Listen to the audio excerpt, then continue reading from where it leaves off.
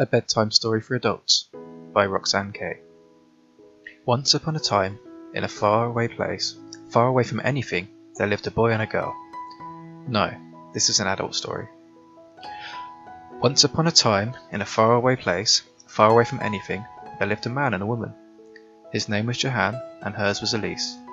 Jahan had white skin, and Elise's was brown. This didn't matter in the beginning, but over time it would. First in small ways, tiny little cracks, and then in ways they could no longer ignore. Jahan first saw Elise in a smoke-filled room and decided he wanted her. Wanted to know the taste of her brown skin. Wanted to run his hands over the soft curves of her ample body. Elise didn't believe him. She didn't believe in fairy tales, or herself, or much of anything. Jahan chased her and chased her, and finally she let him take her to dinner because she was hungry. Elise let him have a drink at her house because she was lonely. She let him touch her because she was another kind of hungry. She lay with him and enjoyed the meat of his body against hers, how his rough hands held her sweetly, how his lips brushed past her shoulder. Jahan brought her pleasure and she brought him pleasure, and after he lay next to her, breathing heavily. Elise thanked him. She told him to leave. He did so, but vowed to return, ignoring her protest. Jahan sent Elise a beautiful bouquet of fragrant wildflowers. She called and said thank you, and please don't do it again, but she set the flowers on the coffee table in her living room and smiled at them each day. He continued to call, and sometimes she answered, and they talked about all manner of things.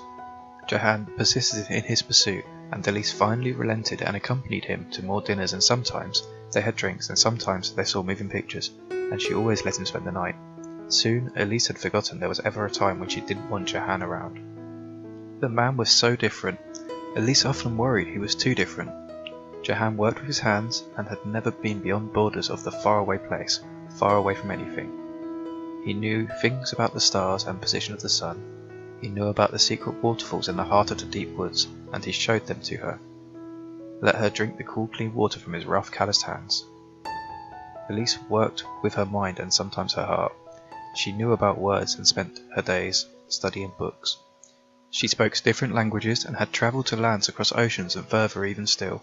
She longed to be closer to the places where she could find bright lights and crowded streets, and where once in a while she might see someone who looked like her. But Elise had a job to do and studies to complete. She would bide her time. Jahan and Elise knew little of the same things, but he knew how to touch her and how to press his lips to her neck, and how to hold her as she slept, and if all that mattered was the moments that shared between them, they could have easily found a happily ever after. There were, however, other things that mattered. Jahan had a wicked mother who lived in a grand house high on a hill. She kept an extravagant garden and enjoyed receiving visitors in a large living room filled with large imposing furniture. The wicked mother scowled more than she smiled. The wicked mother thought her son a king and wanted nothing but the best for her oldest boy. She did not think Elise was any kind of good enough, and she let it be known throughout the land. Elise brought Jahan's wicked mother gifts and kind words. She said please and thank you when invited to dinner. She offered to wash the dishes None of her gestures could sway the wicked mother who did not want Jahan to love a woman with such different skin. It was a grand house high on the hill. She and Jahan pretended the wicked mother didn't matter. Her displeasure was an unfortunate detail, they told themselves. They ignored the harsh words and the harsh thoughts. They pretended nothing could get in the way of their happy and ever after. On festive days, though, when there was too much to celebrate, Elise often found herself alone and waiting while Jahan paid his respects and fetted with his family. In those lonely moments, Elise wanted Jahan to make a choice, but she didn't dare ask, couldn't bear knowing he might not choose her. There came a day when Elise learned she was carrying Jahan's child. It was an unexpected but welcome blessing. When she told Jahan, he said his heart was so full it ached. He offered his hand in marriage and a place in his kingdom, at his side. Elise told him they would wait and see. She wanted to say yes. They began planning for a future when, and when they saw the doctor and heard the beating heart of their unborn child, they looked at each other and discovered they did share one thing love. Jahan and Elise were so blinded by their joy, they shared their good news with Jahan's wicked mother, who, upon hearing the news of her new heir in the kingdom, a bastard heir, she said, she narrowed her eyes into hard, black slits. She said no such child, a child from two terribly different worlds, who would, would ever be recognized or loved by anyone under her reign. Elise held her hands against her stomach tried to shield her beloved unborn child from such venomous words. The wicked mother banished Elise from her home, and Jahan stood by and said nothing. Torn between his mother and would-be wife, Elise hoped to find a way to forgive his silence. she would never forget. It happened on an ordinary day full of extraordinary moments. A day which Jahan painted the nursery a soft shade of pink for the child who would be a girl, who would be named Emma. He stood in the room admiring his work, picturing a woman holding their child near the large window, perhaps staring up at the sky. Elise stood in the kitchen preparing her man a fine meal, humming to her baby, trusting in her joy. She was overcome by a sudden terrible pain in the seat of her womb. It was a pain so sharp and precise she couldn't make a single sound. That last moment Elise remembered was falling to her knees and thinking, I cannot bear to lose this. Jahan found her on the floor, bleeding slowly, breathing shallow after their home filled with the smell of burnt meat. They both mourned the loss of their child, but instead of tearing them apart, their sorrow made them love each other better and more fiercely. When she finished her studies, Elise told Jahan she had to leave the faraway place, far away from anything. She had been offered a position for which she had prepared her entire life. It was too hard to live amongst so many memories of what would have been.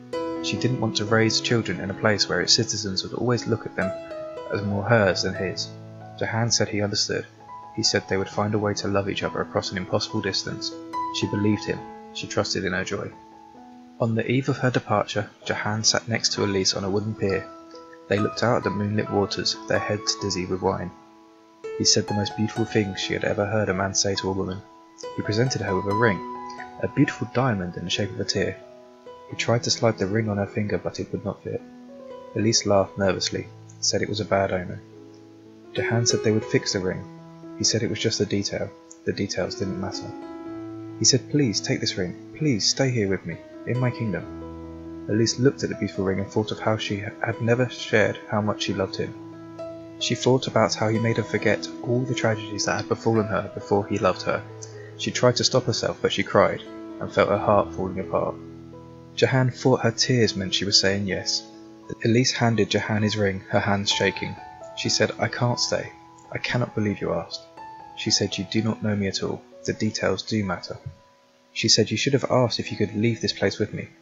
Jahan said he had never known any other kind of life. He said these were his people and this was his land.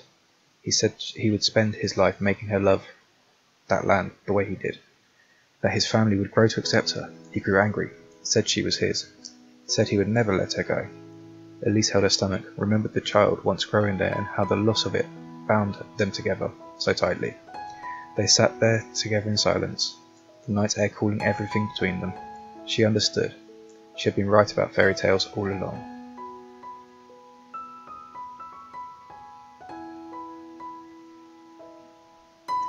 And that's the end of the story. Thank you for listening. Good night.